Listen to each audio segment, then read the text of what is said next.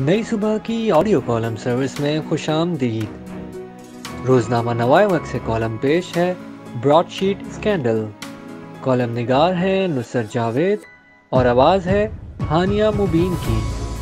अगर आप नई सुबह की ऑडियो लाइब्रेरी से मुस्तफ़ होना चाहते हैं या हमारे साथ वॉल्टियर करना चाहते हैं तो विज़िट कीजिए हमारी website W W W dot Nai Subah dot a h dot o r g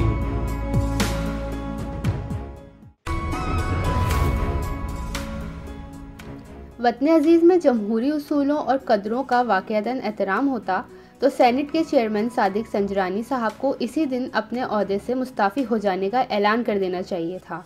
जब इनके खिलाफ आज से कई माह कबल तहरीक अदम अतमाद पेश हुई थी 104 अरकान पर मुश्तमिल ऐवान बाला में मौजूद अपोजिशन के 60 से ज़्यादा अरकान ने इस तहरीक पर दस्तखत सब्त किए। बाद अज़ा मस्कूरा तहरीक ऐवान में बाकायदा पेश हुई तो यही तादाद इनकी तायद में खड़ी हुई।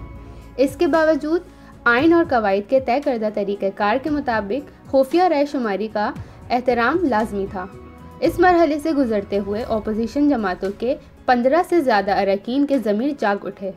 सादिक संजरानी अपने अहदे पर बरकरार रहे।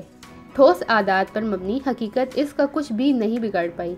ये तादाद अपोजिशन जमातों के दिल को बहलाने नहीं, बल्कि रसवा करने का सबब हुई। बाज़ अमीर अरकान मगर अभी तक हमारे सामने नहीं आए, वो नामालूम ही रहे।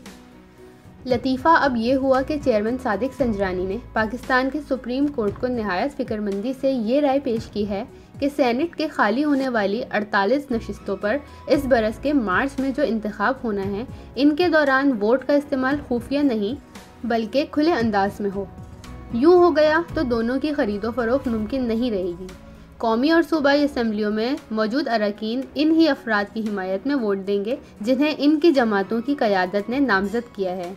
खुफिया राय शुमारी के करम से अपने अहदे पर बुरजमान संजरानी साहब की जानब से सुप्रीम कोर्ट के रूबरू पेश करदा तहरीकी राय हमें चौंका देने का बायस होना चाहिए थी।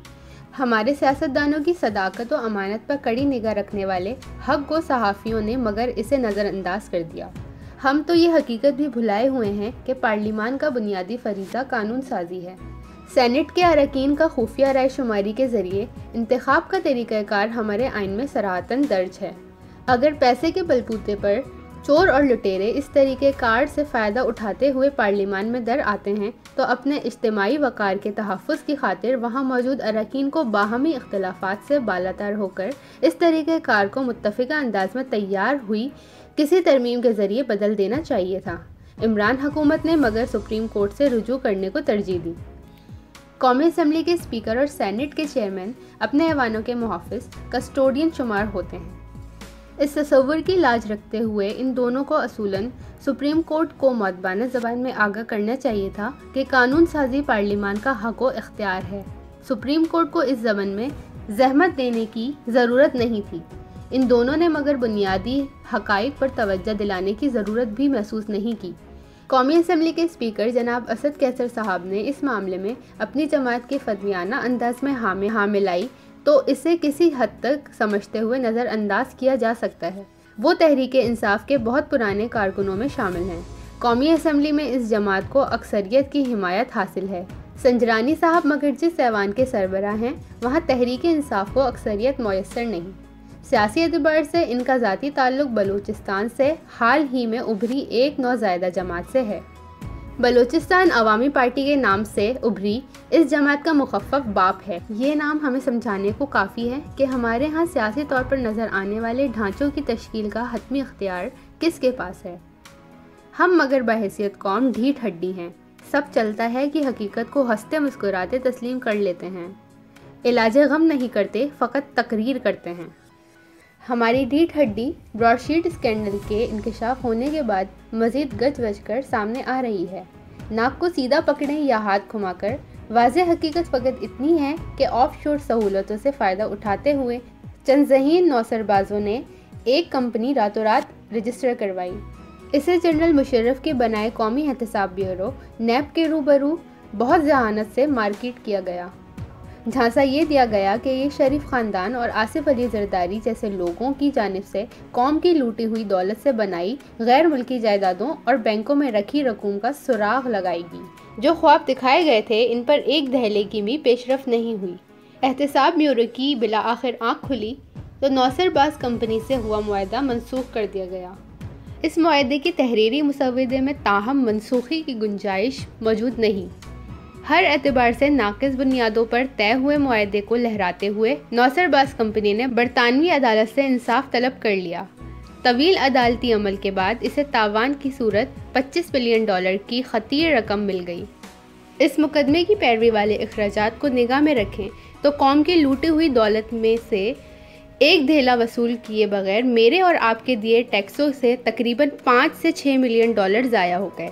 कौमी ख़जाने का ये बहुत ही बड़ा नुकसान है। अजियत दर हकीकत ये भी है कि ये नुकसान इस इदारे, यानी नैब की फुर्तियों की बदौलत बर्दाश्त करना पड़ा है, जिसके क्याम का बुनियादी मकसद ही कौमी ख़जाने को नुकसान पहुँचाने वालों को गिरफ़्तार करके इबरत का निशान बनाना था। आज भी इस इदारे के अकूबत खाने और जेलों में ऐसे कई लोग मस्कूरा इल्ज़ाम के तहत ज़िल्लत और रसवाई से दो चार हैं। मुख्तसरा एक मूजी मर्स का हतमी मॉलेज बिला आखिर उताई कुश्ता फरोश साबित हुआ। कुश्ता फरोश इदारे के क़याम के इब्तदाई दिनों में इसके डिप्टी प्रोसिक्यूटर तैनात हुए। अजमत सईद शेख साहब को ताहम इस कमीशन का सरबरा मुकर कर दिया गया है, जो ब्रॉडशीट स्कैंडल से जुड़े हकाइक का सुराग लगाएगा। पनामा के दिनों में शेख साहब ने सुप्रीम कोर्ट के जज के तौर पर जो किरदार अदा किया, इसकी वजह से मुस्लिम लीग नून इनकी तैनाती की बाबत दुहाई मचा रही है। मान लेते हैं कि इनकी दुहाई बुनियादी तौर पर सियासी है। इसके बावजूद हैरानी इस वक्त होती है, जब रावलपिंडी की लाल हवेली से उठे बुकराते असर सीना फुलाकर भड़क लगाते हैं कि ब्रॉडशीट स्कैंडल की तफ्तीश करते हुए अजमत सईद, शेख साहब, नवाज़ शरीफ और मरियम नवाज़ साहिबा की जानब से छुपाई मज़ीद दौलत और जायदादों का सुराग लगाएँगे। सादा सवाल अगरचा महज ये होना चाहिए कि ब्रॉडशीट के बानी कौन थे? इन्होंने 2000 में नैब के करता धरता अफराज से रबते कैसे इस्तवार किए? वो कौन नाबगा था, जिसने एक ऐसे माहे पर दस्तखत किए जो हर एतबार से नाकस था। इलाज गम नहीं, फ़कत तकरीर से हमारे दिलों में नवाज़ शरीफ के ख़िलाफ़ नफ़रत को भड़काना ही मकसूद है। ब्रॉडशीट जैसी नौसरबाज कंपनी, दरी असना हमारे ख़जाने से भारी भरकम रकम से लुफानंदोज़ होती रहेगी।